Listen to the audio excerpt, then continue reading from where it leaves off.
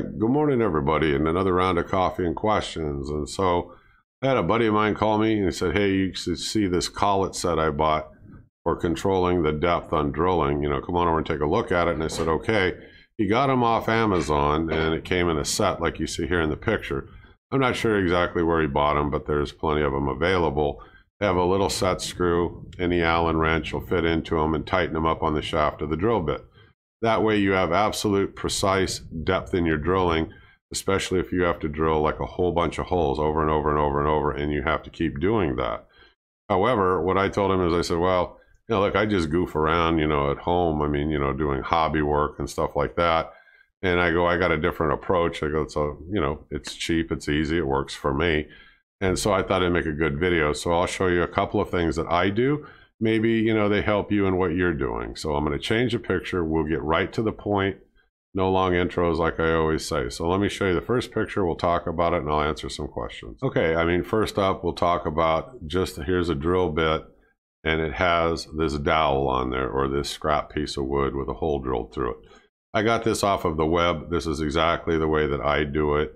I started off with a block of wood in the drill press. I drilled a hole through it I figured out the depth that I wanted and that I was going to put on the drill bit and I just cut it off. And then all I do is adjust the drill bit in and out of the chuck of the drill like you see here in the picture.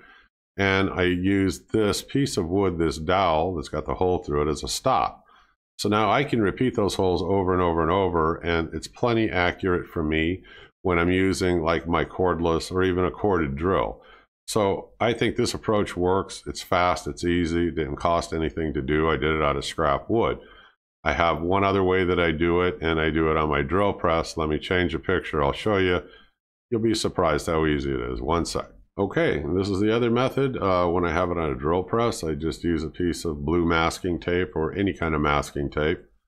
Um, I had somebody said, why can't you just use a felt marker? Well, you can. I don't like doing it that way. I just use a piece of tape and I've got plenty of this blue painter's tape laying around. So I figure out the depth that I want and I just wrap a piece of tape around it.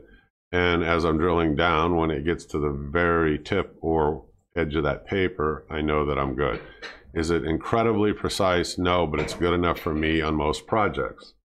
Now, the other thing I put up here is a Krebs uh, well, I call them, you know, Krebs discs, but um, what they're used for is cleaning, you know, belt sanders and any kind of sanding paper.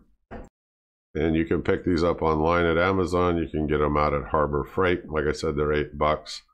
Like a big thick piece of rubber. You touch it to the sandpaper and it will get it real clean again. So it increases the longevity of your sanding paper. So um, I threw this up for completion. Somebody asked me on the past video that I did relating to sanding you know, how often do I have to change sanding discs and sanding paper? Well, I don't have to do it that often as long as I'm cleaning the sanding paper when I'm done. But when it's worn, it's worn and it's not that good anymore and it's not cutting, then it's time to change it. But the purpose of this video is to show you how to create depth gauges on your drill press or, you know, your cordless or your corded drills. Okay, I'm the home handyman. This is your quick tip of the day. I hope you click subscribe, drop me a comment if you got a better way of doing it or there's some other product out there that's also equally as good. Otherwise, I'll see you on the next video. You folks have a great day. I'll talk to you soon. Bye-bye.